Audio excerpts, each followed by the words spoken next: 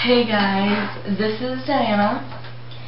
Um, I'm new to the whole like once a week video thing, so this is my first video. I know it's not on Friday, but I wanted to try to catch up and get into it as fast as I could. Um, so this is my five things you didn't know about me.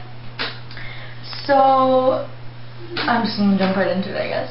My first thing is that I really hold back when it comes to guys, and I don't really tell people that, but I guess you can tell from my previous non-relationships.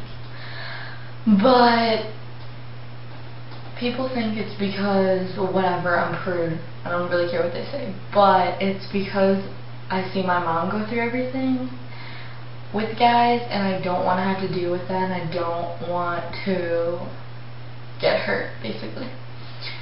Um, my second thing is that I cry a lot.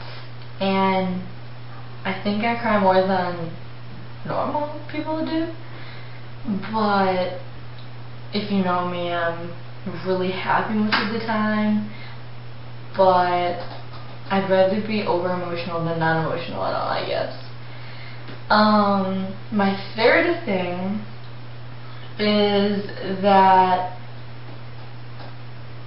I hate my dad's girlfriend like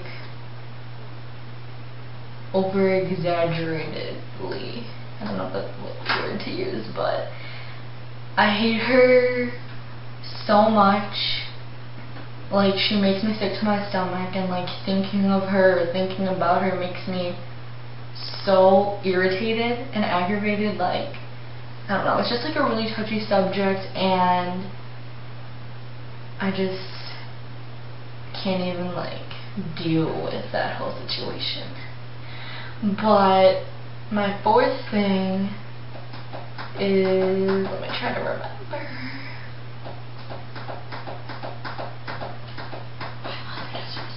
Oh.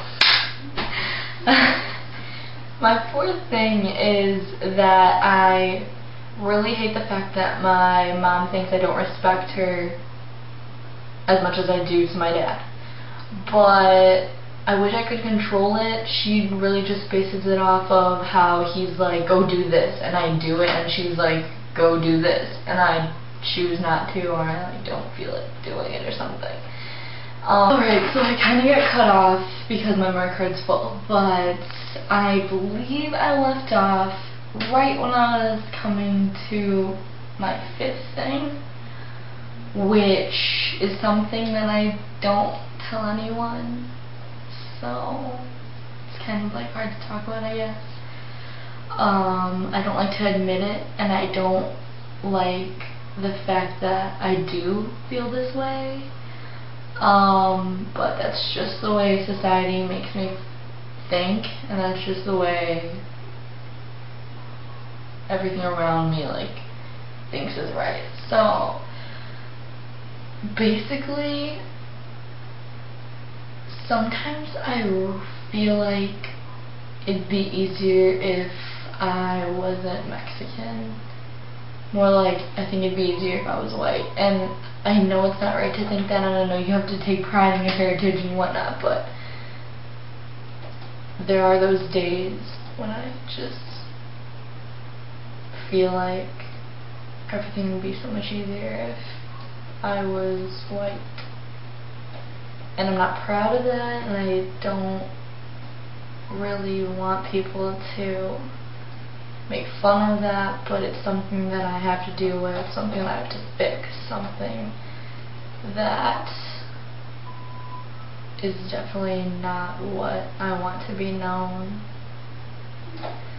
So those are my five things. I hope you didn't know them. Probably know the third one, which is about my dad's girlfriend, but yeah, so thanks for watching, and I guess I'll see you guys next week.